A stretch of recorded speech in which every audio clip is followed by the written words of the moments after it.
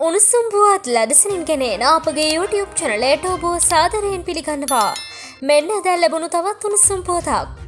බරපතල ඉන්දනහිගේකට මුහුණ දී තිබෙන ශ්‍රී ලංකාව රුසියානු බොරතෙල්ලානයිනය ආරම්භ කර ඇති බව බ්ලූම්බර්ග් සංගරාව වාර්තා කරයි.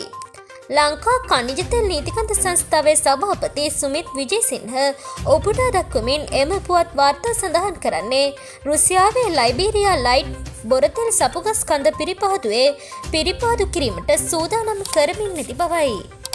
මැයිමස විසි අට වන දා රුසියානු බොරතෙල් ශ්‍රී ලංකාවට ලැබෙනු ඇති බවද වාර්තාව සඳහන් කරයි.